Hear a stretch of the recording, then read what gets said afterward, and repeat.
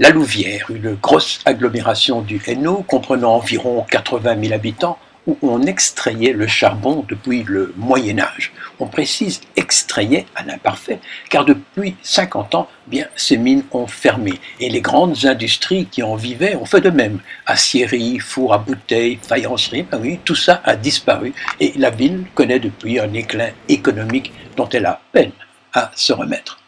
Rendez-vous au Mansard, avait décrété Olivier, une taverne qui donne sur la place du même nom. Vous ne pouvez pas vous tromper, tout le monde connaît, et à juste titre, car elle est un endroit magnifique où tout le monde se donne rendez-vous. Tout le monde, et bien entendu Karine Laure, toujours un peu en avance, comme à son habitude. L'idée, c'est de se promener dans la ville en demandant à Olivier de nous la présenter et par la même occasion bah, de parler de lui et de son parcours. Bonjour Olivier, nous sommes ici à la Louvière, la cité des loups. La cité des loups. Devant, je pense, la maison de Achille Chavet, je pense. Je, pense, oui. ça doit être le... en tout cas, Achille n'est pas connu personnellement. Non, c'est ça. Moi non plus, oui, on est trop jeunes. Mon ami, je suis un vieux rouge qui ne marchera jamais dans une ville indienne. Ouais. Probable que ça doit être sa maison. Est-ce que comme Achille Chavet, un jour tu as dit, je n'irai pas à l'académie?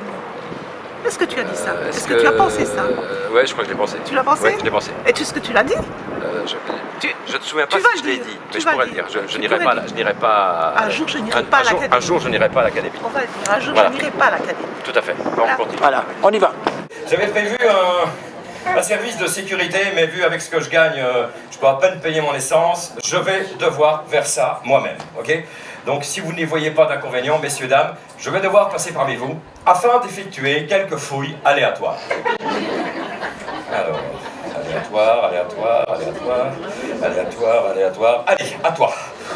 Pouvez-vous vous tourner? C'est votre femme, monsieur? Oui, c'est Et euh, c'est la première fois que quelqu'un la plotte, la fouille devant vous, je veux dire. Euh, Olivier, ici c'est la maison, ta maison natale. On va dire oui, je ne suis pas né dans cette maison, mais j'ai grandi 7 ans, de 0 à 6 ans. Enfin, à 6 ans on a vraiment habité ici, c'était le salon de coiffure euh, de ma maman. Le salon, c'était coiffure Betty, juste là, ah, ouais. derrière. Bonjour. Et ici, c'est l'école où tu as fait tes humanités. Alors là. Et là, tu as eu des cours d'art dramatique déjà. Voilà. Alors, ça, ouais. Et si vous voyez les, deux fenêtres qui sont tout en haut là-bas, ah ben, c'est là que je donnais les cours d'Ardex. c'est là qu'en fait, tout a vraiment commencé, quoi. Ma vie a commencé ici. Et tu as traversé la rue. Et puis j'ai traversé la rue, j'ai commencé à faire du théâtre là-bas. Oui, disons que j'ai déjà les prémices que j'aime bien faire des blagues et tout ça. quand on aime bien, qu'on a la chance. Ah oui, à 15 ans, j'ai la à, à 15 ans, moi je vais revenir un jour après un des spectacles qu'on aura joué ici dans l'école et dire à mes parents voilà, je sais ce que je veux faire, je veux devenir comédien. Parce qu'en 75, ça n'existait pas dans les autres écoles. Non, c'est nouveau. Voilà, Pour une fois, c'est Molenbeek, c'est notre ville qui était pointée, c'est Molenbeek qui était pointé. Pourquoi il a fallu quand même que les terroristes passent par Charleroi? Pourquoi? Pourquoi? L'environnement. Ça leur rappelle leur chez eux.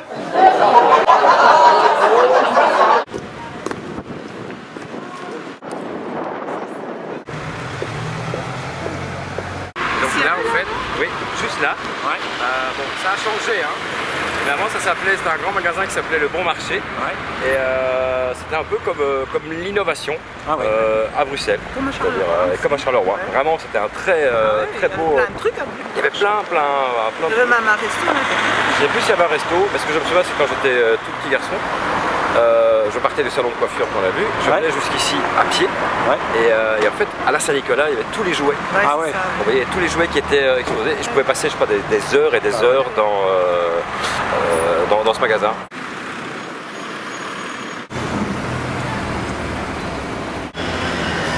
Alors Olivier, nous sommes ici place de la Louvre. Oui. Voici la Louve, tu connais en deux mots la légende Pourquoi alors, La Louve, la Louvière, pourquoi la Louve ben, alors, Peut-être que les historiens, non, c'est faux, ils racontent n'importe quoi. Alors, dis quelque chose, Moi, je, la légende, on dit que la Louvière, au départ, avant euh, l'émergence industrielle euh, du charbonnage, euh, de la métallurgie, et notamment de la, la ferronnerie mais c'est des champs et des bois. Et il y avait des loups. Allez Et allez, il y avait des loups. Donc ils n'ont pas cherché loin, ils ont dit, on va, on va appeler ça la Louvière.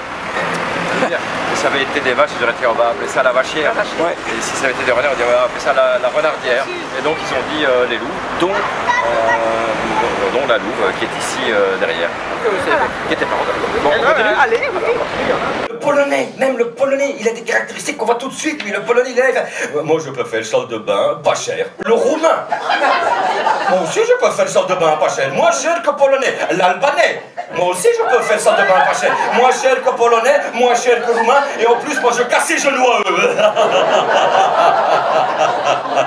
Quoi Fais gaffe à ton pied, parce que- Alors Olivier, nous Oui. sommes ici devant le théâtre de la Oui, Louvière, qui est en travaux. qui est en travaux. Tu as fait tes maman. premiers pas ici. Alors, euh, C'était après l'impro ou comment ça ah non, non, passé alors ça se passe euh, l'école qu'on a vue tout à l'heure. Oui, ok. Jean-Edouard euh, Fassbender, c'est juste avant que je parte à l'IAD, à, Louvain-la-Neuve, faire mes études de théâtre. On reprend le spectacle euh, qu'on a joué en fin d'année dans la, dans la salle de gym à l'école, qui est le Bourgeois Gentilhomme. Ah. Je jouais le rôle de, de Monsieur Jourdain. Ah et, bon euh, et ça a été repris pour, euh, pour une association euh, caritative, euh, ici, au théâtre, euh, au théâtre de Louvière. Donc c'est la première fois que je montais sur une vraie scène, scène. de théâtre, euh, jouer le Bourgeois euh, Et Gentilhomme tu- en 1986. Tu t'es pas planté, t'as pas oublié ton texte Non, non, non, j'ai pas oublié. C'est un magnifique souvenir. C'est fou ça. Avec des perruques Euh, oui, on avait, on avait, c'était euh, vraiment, il y avait- j'avais la perruque, j'avais. La euh, perruque devrait traîner par terre, non? Non, même pas. Méchant, ouais. tu n'es pas très grand non plus. tu sais. Non. regardez comme il n'est pas grand. Regardez comme il est. Oui, il se moque de moi, mais regardez, regardez-moi ici. Et après, après, ça se moque. Dis-moi, la Ligue d'impro, euh, ça foisonnait de gens qui sont devenus célèbres par après. C'est une belle école, hein. C'est une Ouais. belle école de. Très dur, hein. Pour apprendre, ben, voilà, le métier d'acteur, Ouais, c'est ça, euh, ouais. puis tester des choses en, en direct. Et, euh, voilà, il y a Patrick est passé par là. euh, il y a Virginie Hoc, Ah, qu'on qui, euh, connaît. que moi j'ai connu aussi euh, via la, la- la Ligue d'improvisation. Virginie, alors c'est très drôle, c'est Virginie Efira.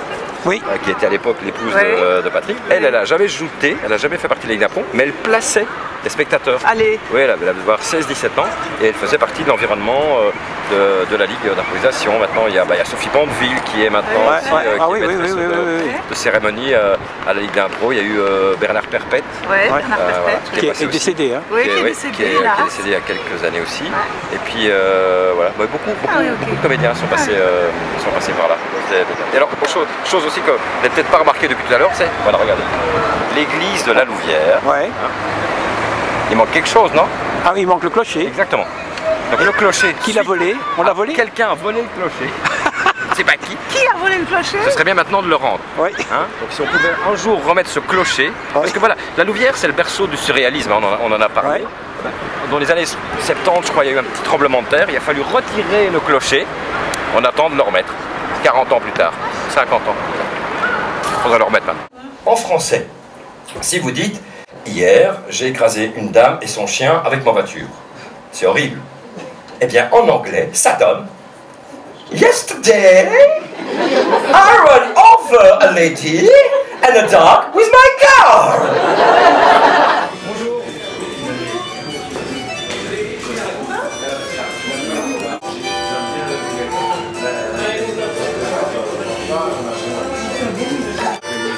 Vous laisser travailler tranquille. Peut-être après. Voilà. Et, sans dégager. Palais de la bière. Alors, au Comédie Centrale, ton deuxième spectacle, mis en scène par Patrick Ribremont, Oui, coécrit par Marcel Sel. Oui.